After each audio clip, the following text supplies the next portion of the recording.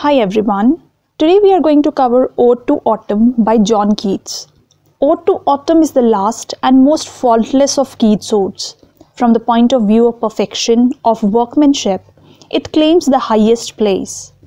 It is an unparalleled description of a richly beautiful autumn day, and Keats imparts to the readers the sincerity of spirit given to him by this lovely aspect of nature.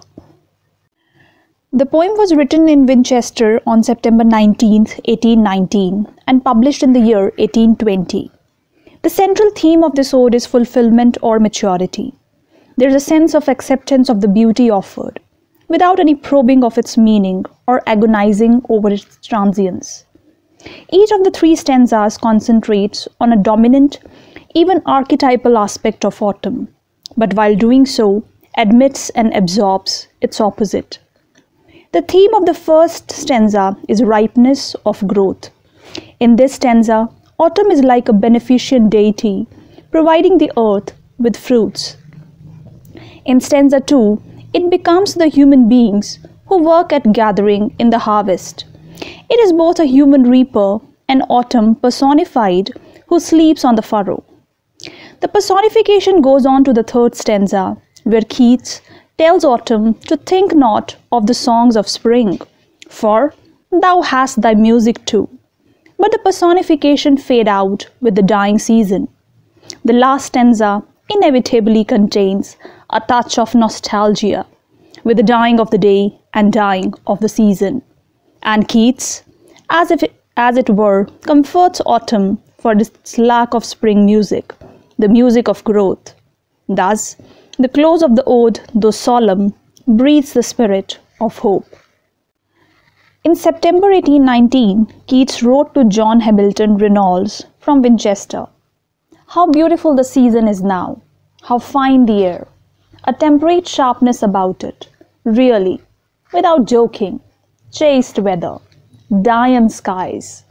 I never really liked stubble, fields so much as now. I better than the chilly green of the spring. Somehow, a stubble field looks warm in the same way that some pictures look warm.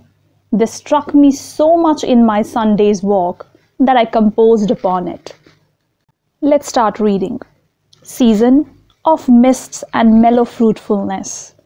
Close bosom friend of the maturing sun, conspiring with him how to load and bless with fruit the vines that round the thatch eaves run, to bend with apples the mossed cottage trees, and fill all fruit with ripeness to the core, to swell the gourd and plumb the hazel shells with a sweet kernel, to set budding more and still more.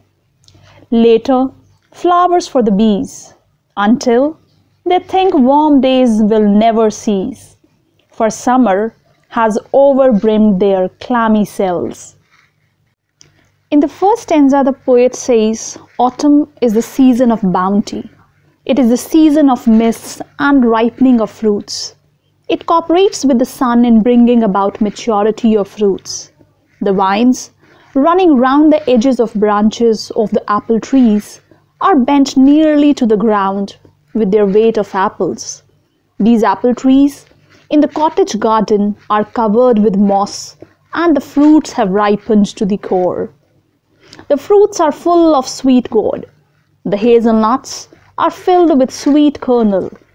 Flowers bloom more in this season. The bees taste the sweetness of these flowers. The bees appear to feel that the warmth of summer will never cease for the sticky cells of the honeycomb are filled to overflowing with honey. Who hath not seen thee oft amid thy store?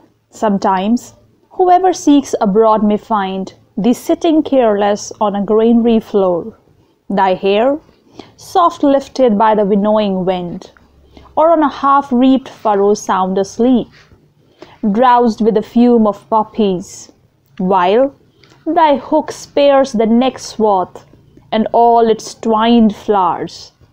And sometimes, like a gleaner, thou dost keep steady thy laden head across a brook, or by a cider press. With patient look, thou watchest the last oozings, hours by hours.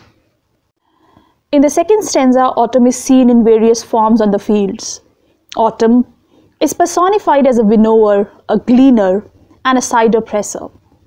First, Autumn is personified as a winnower, sitting near her store with her hair flowing in the wind.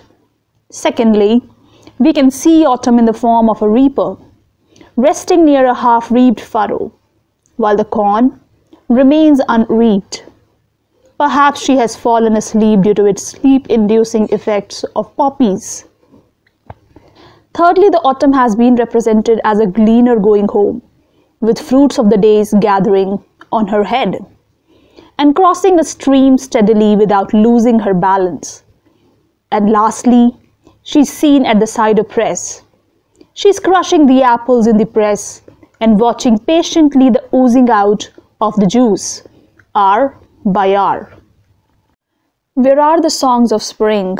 Ay, where are they? Think not of them, thou hast thy music too. While barred clouds bloom the soft dying day, and touch the stubble plains with rosy hue.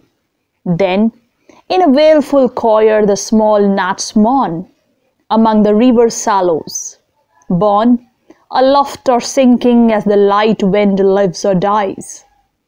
And full grown lambs loud bleat from hilly bourne. Hedge crickets sing, and now with treble soft the red-breast whistles from a garden croft, and gathering swallows twitter in the skies. In the third stanza, Keats first feels the absence of the songs of spring, but soon his regret is over, for autumn has her own music. Oh, autumn has its own peculiar music and beauty when the sun is setting a soft glow irradiates the field from which the crop has been reaped, leaving the stumps behind. The long drawn out clouds in the sky look like the bars of a grate. At this time, the gloomy sounds of gnats create their own music while they fly about among the shrubs by the riverside, or when they fly with the winds upwards. In addition to these sounds, there are also the bleatings of full grown lambs heard from the hills. Then there's the chirping of the grasshoppers, the bold twittering of the swallows, which are gathering together in large numbers for winter migration. Ode to Autumn is a purely objective poem describing vividly the warmth and richness of the autumn season. This ode is clear, simple, and transparent. The poet takes delight in the autumn season as it is, without wishing it to be anything else the main theme is ripeness of all. The poet says that in season of autumn, everything comes to maturity. The poet sees a continuity in the life of nature and rejoices at the sober and subdued beauty of autumn. That's all for this video. I hope you enjoyed the explanation. If you have any questions or you want me to cover any topic, do let me know in the comment section. If you're new to the channel, don't forget to subscribe. Thank you so much for watching.